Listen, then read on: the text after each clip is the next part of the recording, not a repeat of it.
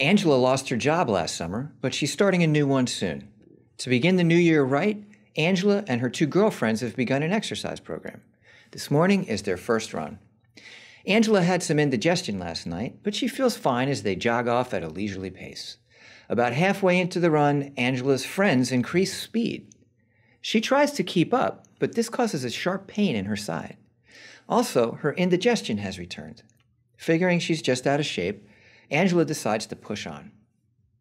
She completes the run with her friends, but is short of breath and lightheaded when they finish. Her heart is pounding, and she has a headache. When she gets home, Angela can't seem to catch her breath. Her husband, William, asks if she's okay, but Angela doesn't respond right away. Sensing that something might be wrong, William calls 911.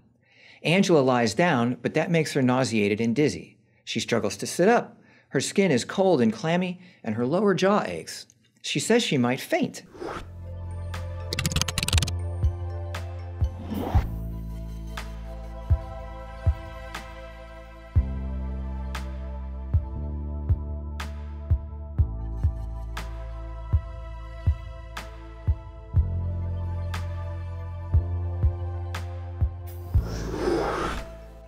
The emergency medical technicians arrive at 9:25 a.m. and begin their first responder intervention.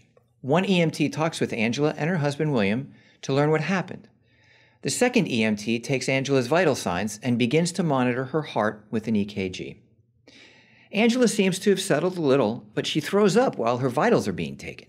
The EMTs wait to make sure she's stable and then prepare Angela for transport to the emergency room. William rides along with her in the ambulance.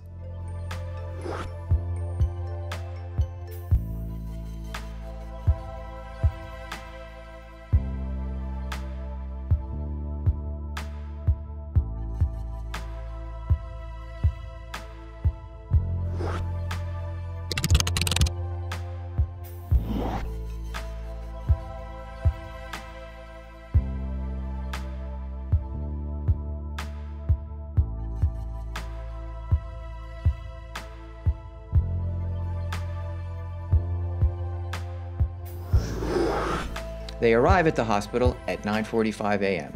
An emergency room registered nurse measures Angela's vital signs, places oxygen tubes in her nostrils, clips a pulse oximeter to Angela's finger, and inserts an IV line. Angela's sample information is recorded, and the admitting clerk obtains additional information from William. An electrocardiograph technician hooks up the EKG leads, and the EKG reading is complete at 10 a.m. A printout is placed in Angela's chart.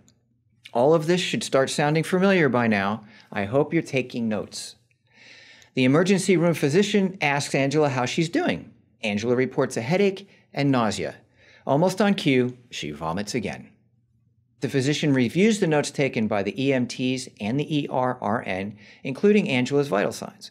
She also checks Angela's EKG recording and the EKG monitor.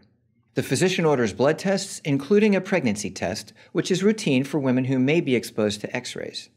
At 10:15 a.m., a phlebotomist arrives to collect Angela's blood samples. Here are Angela's vital signs.